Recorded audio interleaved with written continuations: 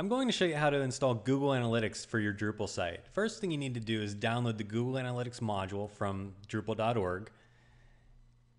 And back on our website, we'll go ahead and turn it on.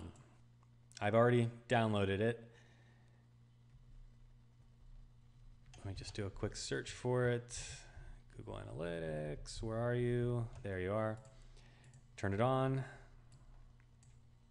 and save.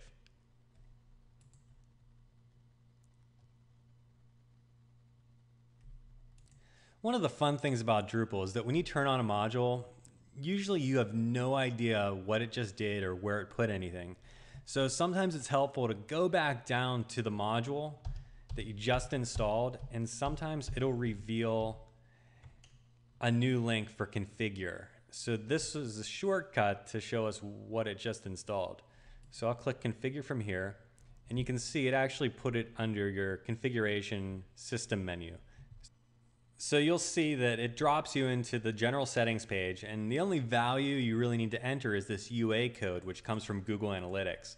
So I already have one handy here. I'll just go ahead and copy and paste this.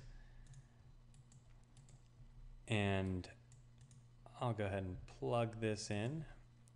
And that's all you really need to do. There's a lot of other settings here that you can play with. You can turn it off for certain pages, certain roles.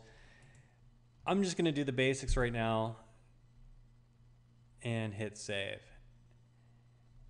And just to show you that it's here, I'll just view the source of the page and let me just do a search for it. Oh, here it is. So it automatically adds in all the code for Google Analytics and it has your special code there. That's all there is to it.